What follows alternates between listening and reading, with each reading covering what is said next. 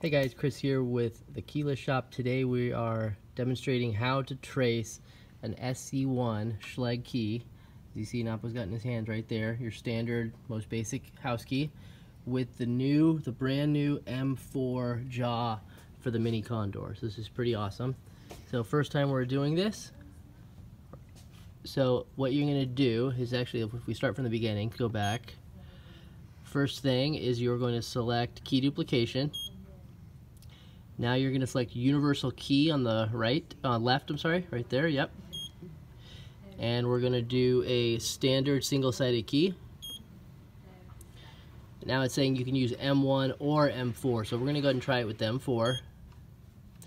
Now you're going to select select clamp because as you see it's selected to M1 we're going to change it to M4 so as you can see over here we got the new the brand new M4 jaw and it's going to tell you as well how to stop the key. So as you can see there's the little arrow stopping at the shoulder. So you're going to use the little shim and you're going to stop the key at the shoulder. Which is not that easy. I don't think we're using the right shim, but this is this is actually the shim for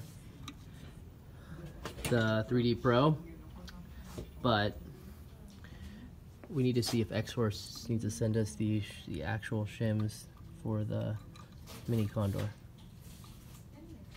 Got it in there? Yep. All right. So let's go ahead and press key decode. So now it's decoding the SC1. It's quite interesting how it decodes it. Let me see if I can squeeze it in.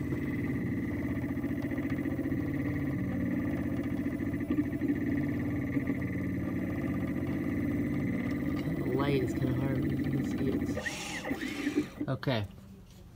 So now it decodes it. It doesn't give you a key code, but it gives you the shape of the key right there, which is nice.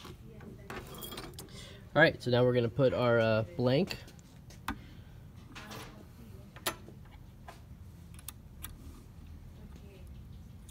And again, we're gonna stop the key at the shoulder, as you can see with the little yellow arrow pointing to the shoulder.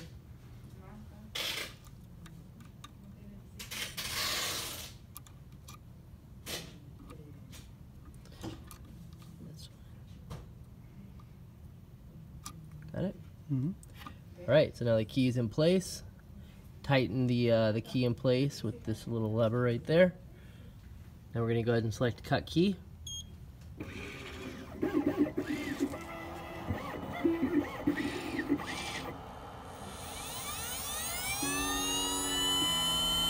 Now when we uh, selected, I think the machine said the, it recommended the 1.5 cutter.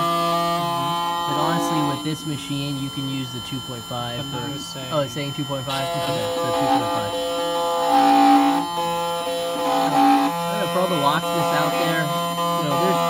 cutters and two tracers for this machine, but we normally just use the 2.5 cutter, which is the high security cutter. For even non-high security keys, it works fine. It's just easier than having to replace cutters all the time. So now let's just compare the key to the original. Just put them back. Do they look, does it look correct? Mm-hmm. Wow, fantastic. There you have it. Mini Condor is now tracing house keys. Amazing.